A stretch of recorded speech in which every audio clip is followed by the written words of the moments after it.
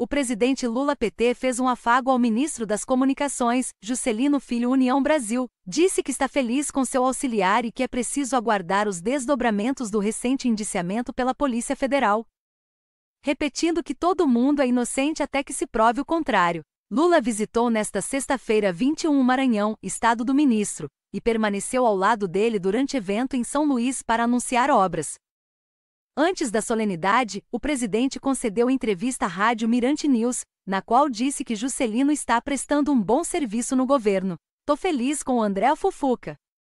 Com o Juscelino com a Sônia Guajajara. Tem um problema de indiciamento do Juscelino.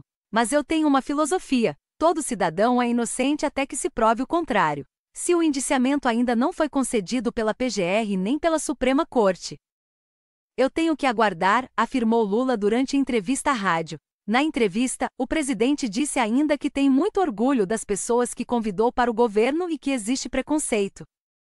Às vezes, porque fulano de tal é de um partido conservador. Nesse instante, ele citou o maranhense Edson Lobão MDB, que foi seu ministro das Minas e Energia nos anos 2000. Era uma pessoa excepcional do meu governo.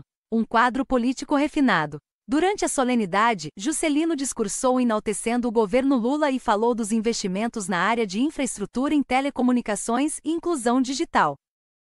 Que Deus abençoe o governo do presidente Lula para continuar trabalhando cada vez mais pelo nosso país, disse ele. Também falou: quando eu cheguei, você me deu uma missão. Que foi fazer a inclusão digital dos brasileiros que estavam fora do ambiente digital. O ministro agradeceu deputados e ministros e citou, especialmente, a atuação de Alexandre Padilha PT, que vem fazendo um grande trabalho na articulação política do governo. Lula, ao discursar, afirmou que Juscelino vai trazer conectividade para o Brasil. Na semana passada, a PF concluiu que o ministro das Comunicações integra uma organização criminosa e cometeu o crime de corrupção passiva relacionado a desvios de recursos de obras de pavimentação custeadas com dinheiro público da estatal federal Codevas. Juscelino foi indiciado sob suspeita dos crimes de organização criminosa, lavagem de dinheiro, corrupção passiva, falsidade ideológica e fraude em licitação.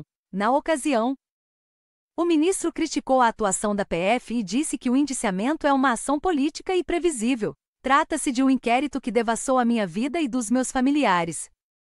Sem encontrar nada, a investigação revira fatos antigos e que sequer são de minha responsabilidade enquanto parlamentar. As suspeitas envolvem irregularidades em obras executadas em Vitorino Freire Má, cidade governada por Luana Rezende, irmã do ministro, e bancadas por emendas parlamentares indicadas pelo ministro de Lula no período em que ele atuava como deputado federal.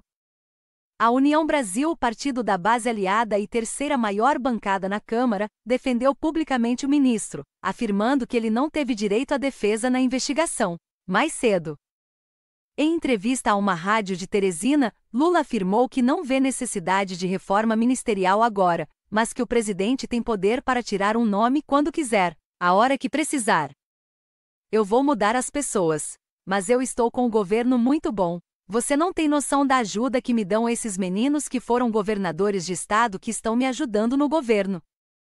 Todos muito competentes, disse ele. Ele continuou: Acho que as coisas estão indo bem. A gente está na época da colheita e precisamos de mais gente dentro do que fora. Estou muito tranquilo.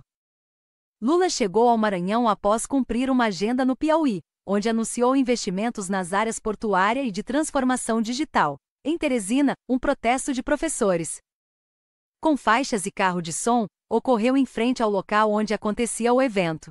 Funcionários da Gespisa Empresa de Águas e Esgotos do Piauí também protestavam por melhores salários e contra a privatização da empresa de abastecimento de água no estado. Na entrevista no Piauí, Lula minimizou a articulação frustrada no Congresso. Nem sempre a informação que chega pelos meios de comunicação é o que acontece de verdade. Nós até hoje não perdemos um único projeto de interesse do governo no Congresso. Também disse: o charme da democracia é que você é obrigado a aprender a conviver na diversidade. Então, você começa a compreender que um deputado não é obrigado a votar no projeto do governo. Quando o governo manda o projeto para o Congresso, o governo já sabe que ele passará pela discussão nos partidos. E que vai ter gente querendo fazer emenda, uns fazem emendas para melhorar, outros para piorar. No frigir dos ovos, sempre termina acontecendo um acordo. Durante seus compromissos, Lula voltou a fazer uma série de críticas ao governo anterior, de Jair Bolsonaro PL. Tivemos um presidente que não conversava com governador, não conversava com prefeito, que não conversava com dirigente sindical, que não conversava com reitor, que não gostava de negro, que não gostava de branco, que não gostava de nada, a não ser de permitir que 700 mil pessoas morressem por conta da Covid. Disse, ao discursar em São Luís.